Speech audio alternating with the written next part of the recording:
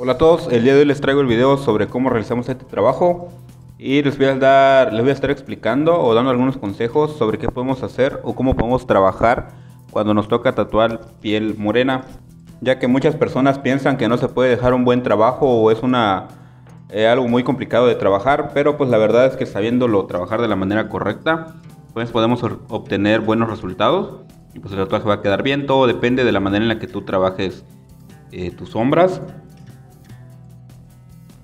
para este trabajo las agujas que utilizamos fueron para sombras 11RM, 15RM y 19RM.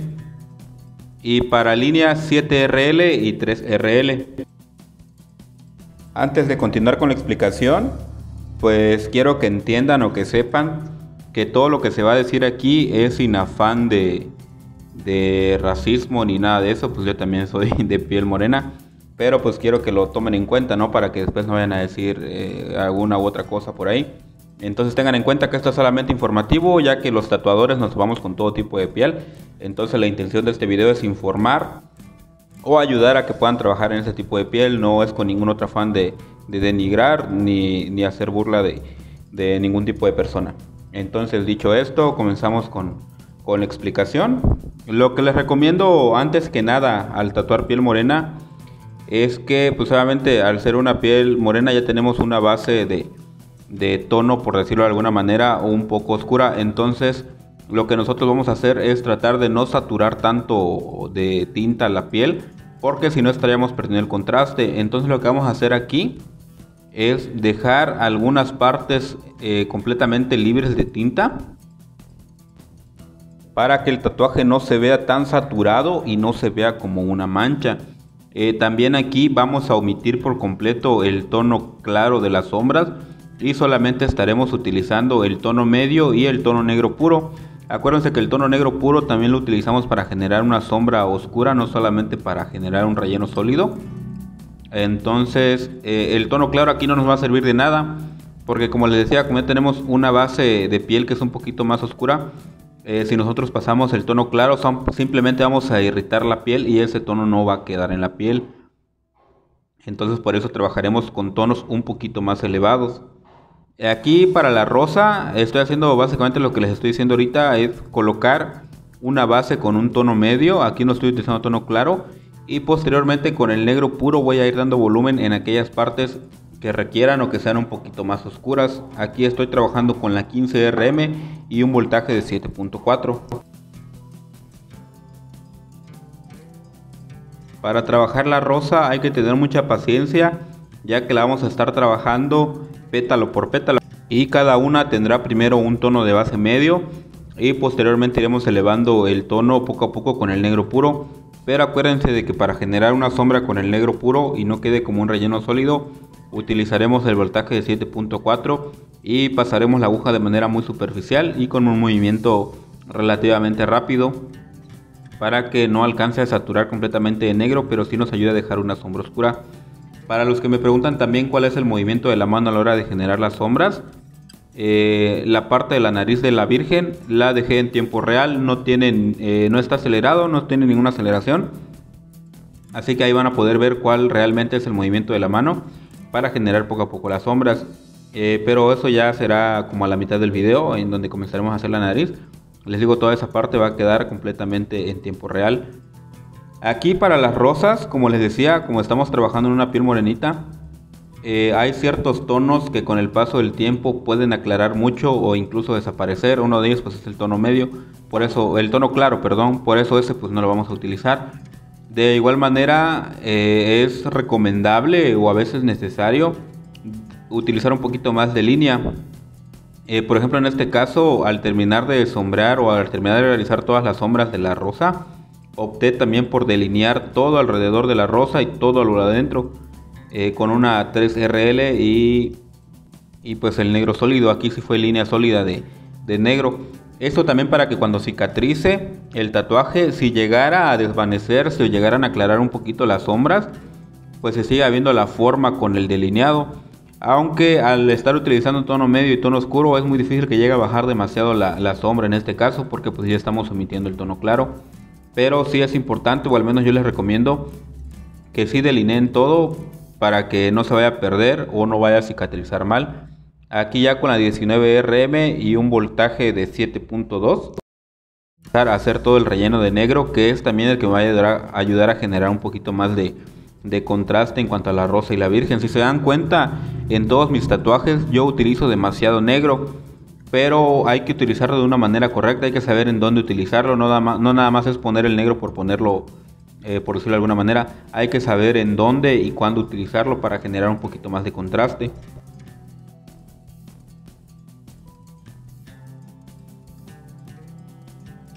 Y aquí como les decía, una vez que tengo terminada toda la sombra de la rosa, voy a comenzar a delinear con la 3RL y el negro completamente puro. Para la 3RL estoy utilizando un voltaje de 6.1. Como pueden observar en la rosa hice mucho de lo que les estaba comentando al principio. Si se dan cuenta hay muchos espacios que dejé completamente limpios, que no tienen ninguna sombra. Y eso hace que por sí solo genere un contraste. Si yo hubiera saturado toda la rosa, hubiera perdido por completo el, contraste y el tatuaje se hubiera visto plano.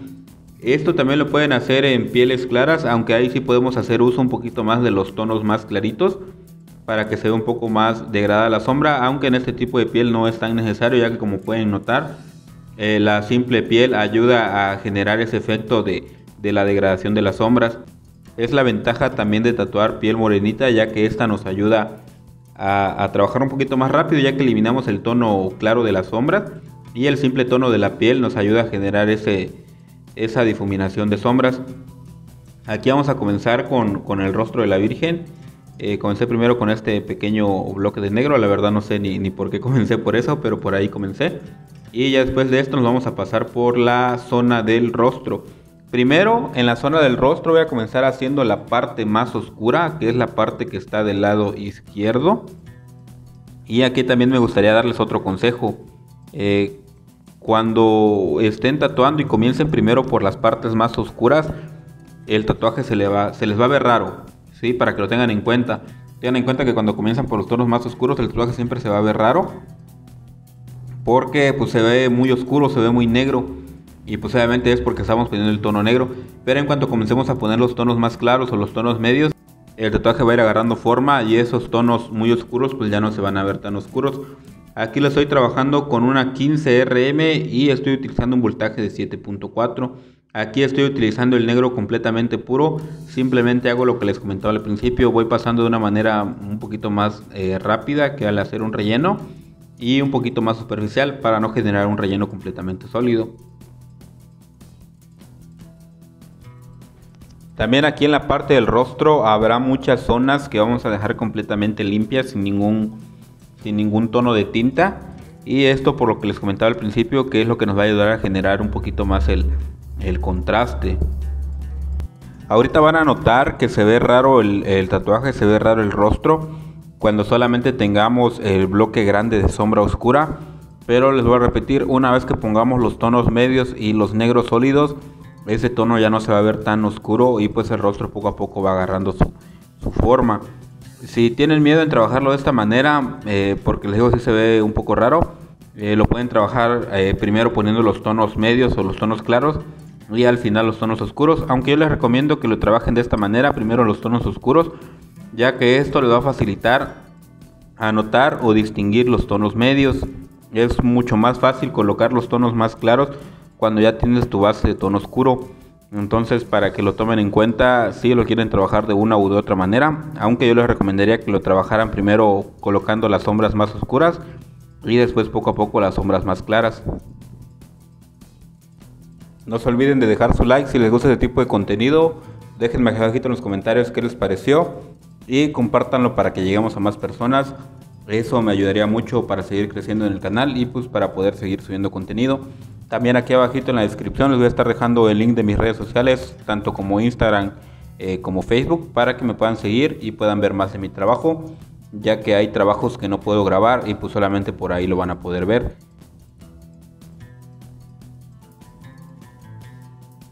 También para los que me preguntaban cuántas veces paso por el mismo lugar para saturar la sombra, eh, ahorita en este video pues como podrán ver he pasado muchas veces por la misma zona eh, para saturar el, tono. pero como pueden ver la piel no está lastimada, la piel no está sangrando y no se ve irritada, no se ve roja. Esto es porque como siempre les digo hay que trabajar de una manera muy suave y superficial, tratar de pasar la aguja eh, raspando la piel, no clavándolo tanto en la piel, pues para generar el tono que deseamos y pasar la, eh, cuantas veces querramos sin lastimar la piel, sin lastimar la demás, pues. Ya una vez que tengo la base del tono oscuro, ahora sí voy a comenzar a suavizar las sombras. Y con la misma 15 RM y el mismo voltaje de 7.4 voy a estar colocando los tonos medios de las sombras. Y voy a tratar de unirla o encimarla con el tono oscuro que tenemos ahí para que no se vea tanto el corte sino que se vea como una transición de las sombras. Entonces vamos a tratar de unirlas o pegar las sombras para que pues el degradado se vea un poquito mejor aunque en realidad aquí no hay que degradar tanto ya que sí se ve un poquito más marcado eh, de dónde empieza la sombra oscura y dónde empieza también la sombra clara. Aquí toda esta parte del labio la voy a estar usando también con la 15RM y el tono negro puro para generar los rellenos de la, de la oscuridad de la boca. Y con ese mismo negro puro voy a estar haciendo los tonos medios de los labios Acuérdense nuevamente que aquí para generar un tono oscuro con el negro puro es solamente pasar de una manera superficial y un poquito más rápido para que no nos vaya a quedar un relleno sólido. Ahorita se pueden observar cuando teníamos solamente el bloque oscuro en el rostro, el tatuaje se veía demasiado oscuro, se veía raro. Pero ahora que ya estamos colocando los tonos medios, ya comienza a agarrar un poquito más de forma eh, todo el rostro. Por eso les digo que no se preocupen cuando vean que su tatuaje va quedando raro, porque pues poco a poco va a ir tomando forma cuando vayamos poniendo todos los demás tonos que hacen falta.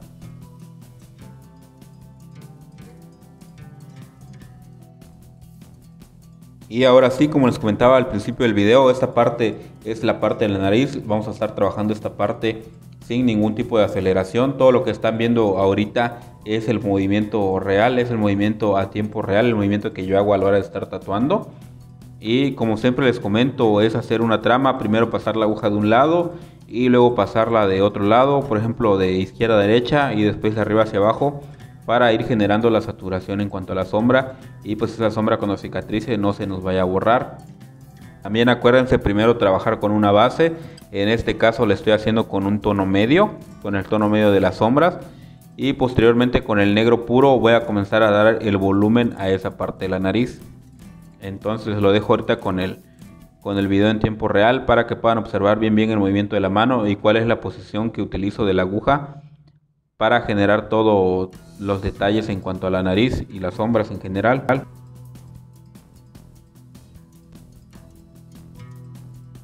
Como pueden ver en algunas zonas no utilizo la aguja completamente plana, sino que solamente utilizo las orillitas.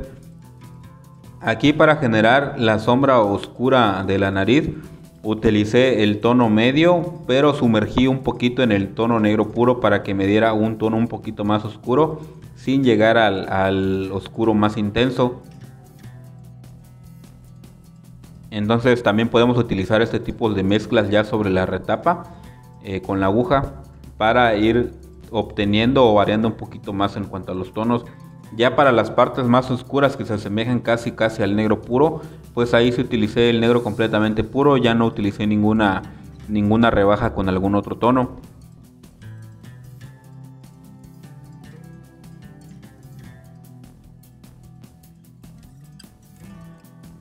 Por ejemplo en la parte de aquí que, que las fosas nasales van completamente rellenas de negro, pues toda esta parte ya la estoy utilizando con, con negro puro ya que me va a ayudar a rellenar las zonas negras y también me va a ayudar a generar las sombras oscuras. Entonces aquí ya no hay tanta necesidad de cambiar a un tono medio porque lo puedo realizar fácilmente con el tono negro puro.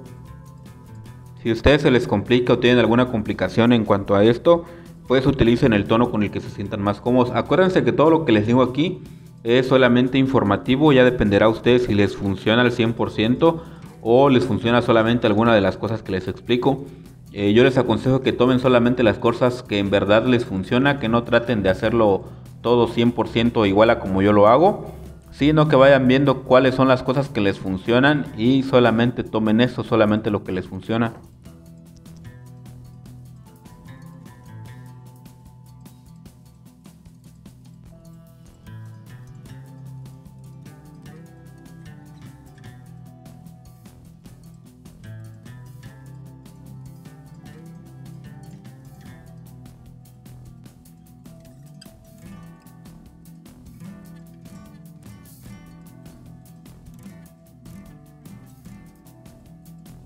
Pueden ver ahorita en la grabación en tiempo real, eh, sí trabajo con mucha paciencia, si se dan cuenta mi mano no está tan apurada y no se ve como que trate de terminar ya, como que quiero terminar rápido para irme a mi casa, sino que la voy detallando poco a poco y con mucha calma. Eh, como les comento en videos anteriores, no suelo tardar tanto en un trabajo, de hecho en este tardé como dos horas, dos horas y media, pero siempre trato de trabajarlo eh, con la mayor paciencia posible y creo o espero que eso se note. Eh, como les digo o como les muestro en este pedazo del video, no trabajo de una manera acelerada. Eh, trato de trabajarlo lo más calmado posible para detallar lo mejor posible. Entonces yo les recomiendo que ahorita no busquen ser rápidos, sino que traten de dejar un buen trabajo.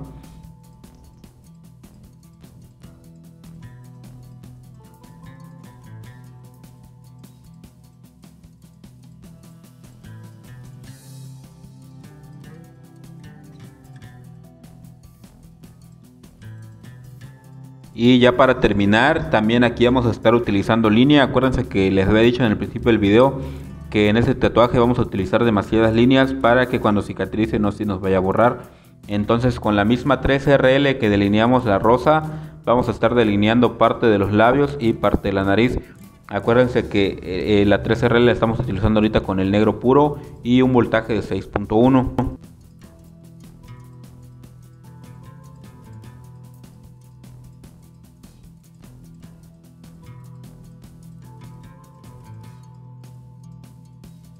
Por ahí yo sé que muchos van a decir que el tatuaje en realismo no lleva líneas y pues es relativamente cierto, pero pues no es lo mismo dibujar en un papel que tatuar sobre piel.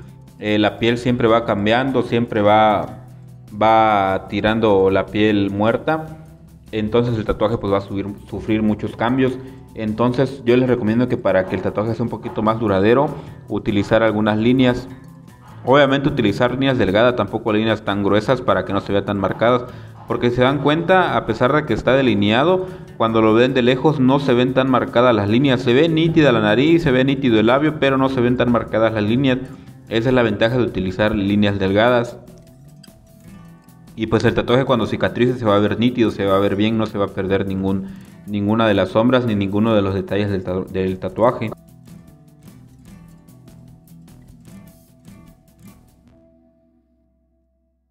Para hacer las lágrimas la estoy haciendo de igual manera con la 3RL y estoy utilizando también el negro puro y estoy utilizando el mismo voltaje de 6.1. Aquí no he variado eh, nada de lo que estaba haciendo con anterioridad.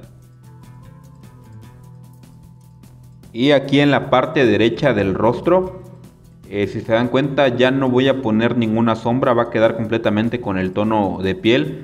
Como les comentaba cuando estamos tatuando piel morena, piel morenita, eh, no es necesario saturar todo de sombras ya que si no se va a ver el tatuaje como una mancha o se va a ver demasiado oscuro.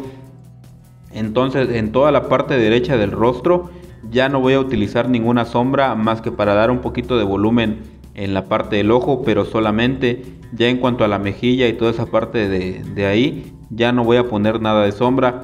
Y si se dan cuenta, ahora que ya tenemos los tonos medios y los tonos claros en el rostro, ya la parte izquierda ya no se ve tan oscura pero es precisamente por esta variación de tonos.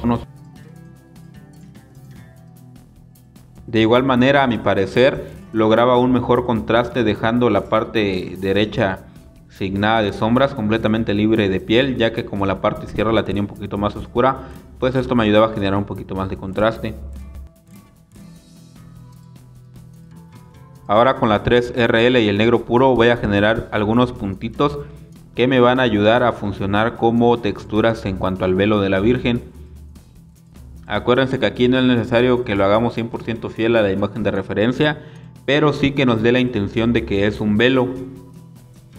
Entonces también a esta parte habremos de tenerle un poco de paciencia y posteriormente que tengamos el texturizado pues vamos a colocar algunas sombras para suavizar las texturas.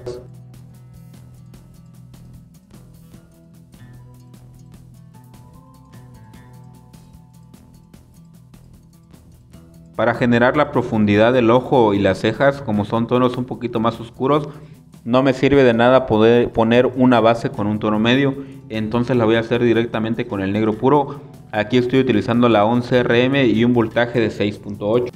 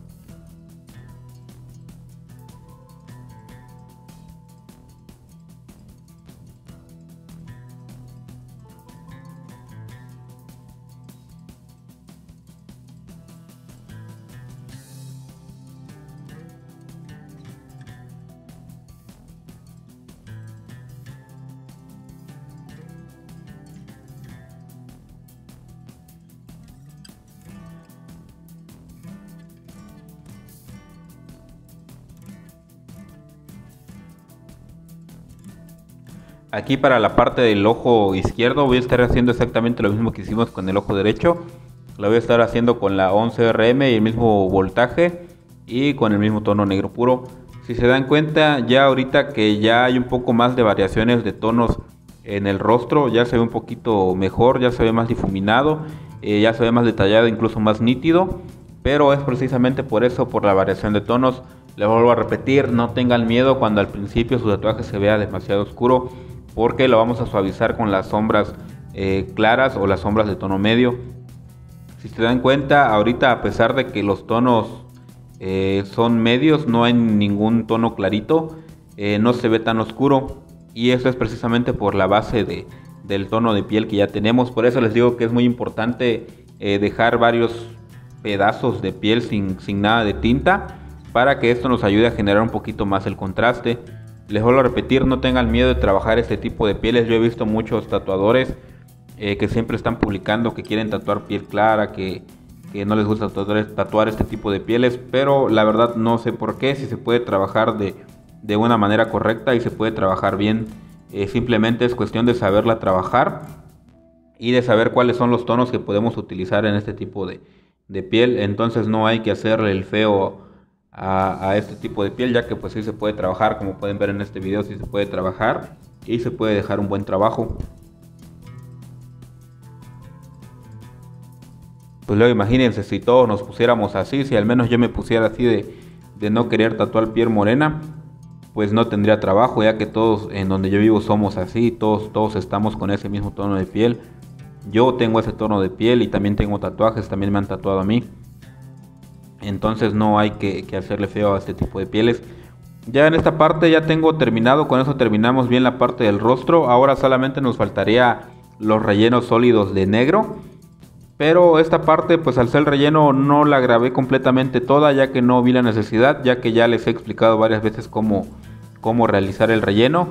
Pero como les comentaba al principio del video, sí uso demasiado negro para ayudarme a generar más el contraste.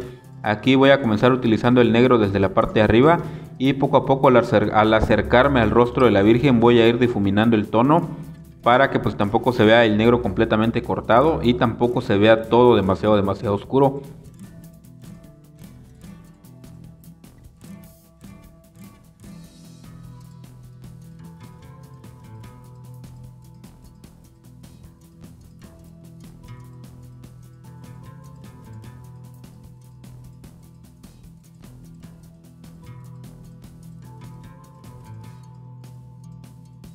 Y pues ya solamente con eso estaríamos terminando el tatuaje, ya solamente nos faltaría colocar los brillos de blanco. Aquí sí usé también un poquito más de blanco de lo normal en la parte de, al menos de la rosa, para ayudarme a levantar más algunas partes del brillo. La recomendación que yo les doy a la hora de poner blanco es que si pueden, si tienen la oportunidad o la posibilidad, lo hagan con una aguja completamente limpia, una aguja que no hayan utilizado durante el proceso del tatuaje ya que por más que la vemos la aguja siempre quedan restos de tinta en ella, entonces se puede mezclar con la tinta blanca y al final el tono que vamos a estar poniendo en la piel va a ser un gris. Entonces yo les recomiendo que si tienen la posibilidad, háganlo con una aguja completamente limpia para que les deje un blanco completamente puro. Se dan cuenta ya con los brillitos de la rosa comienza a resaltar un poquito más. En la parte de la virgen pues no vamos a, a poner tanto blanco, solamente en algunos pedazos de, los labios, en las lágrimas y tantito en algunos brillos de, de, los ojos. En realidad no me gusta abusar tanto de, del blanco.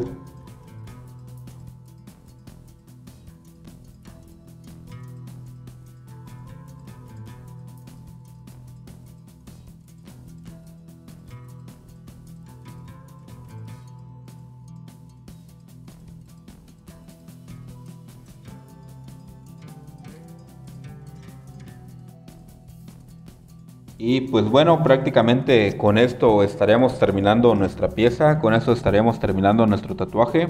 Eh, como siempre, espero que les haya servido, espero que les haya gustado, espero que toda la información que se les dio en este video les sea realmente de ayuda. Si fue así, pues los invito a que dejen su like, déjenme en su comentario qué les pareció aquí abajito. Eh, compártanlo para que podamos llegar a más personas, acuérdense que eso me ayuda mucho, eh, ayuda a crecer el canal y pues ayuda a que sigamos subiendo video. Y pues sin nada más de mi parte, los dejo con los toques finales. ya terminamos todo, ya pues solamente es cuestión de limpiar bien bien la pieza para posteriormente tomarle la foto. Y pues sería todo, sin nada más de mi parte, los dejo con, con la parte final. Los veo en el próximo video, cuídense mucho y bye.